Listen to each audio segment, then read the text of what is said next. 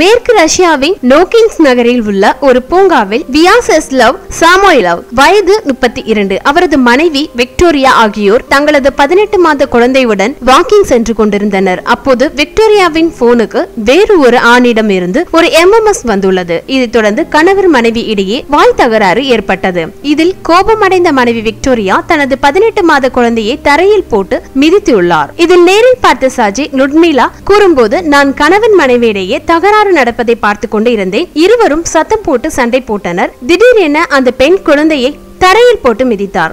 சிறிது நேரத்தில் அந்த மனிதன் ஒரு திசையில் ஓடிவிட்டான். கோபமாக இருந்த மனைவியும் வேறு ஒரு திசையில் சென்று விட்டார். தரையில் போடப்பட்ட குழந்தை தனித்து இருந்தது என்று கூறினார். உடனடியாக அருகில் இருந்தவர்கள் குழந்தையை மருத்துவமனைக்கு கொண்டு சென்று உள்ளனர். அந்த குழந்தையை பரிசோதித்த டாக்டர் குழந்தை ஆரோக்கியத்துடன் இருப்பதாக கூறியுள்ளார். இதை யாரோ வீடியோ எடுத்து சோசியல் மீடியாக்களில் போட்டு உள்ளனர் அதன் பிறகுதான் போலீசாருக்கும் சமூக அமைப்புகளுக்கும் தெரிய வந்துள்ளது. மீண்டும் ஒரு புத்தம் புதிய தகவல் மற்றும் செய்திகளுடன் சந்திப்போம். மேலும் செய்திகளுக்கு W W dot Thedipaan dot com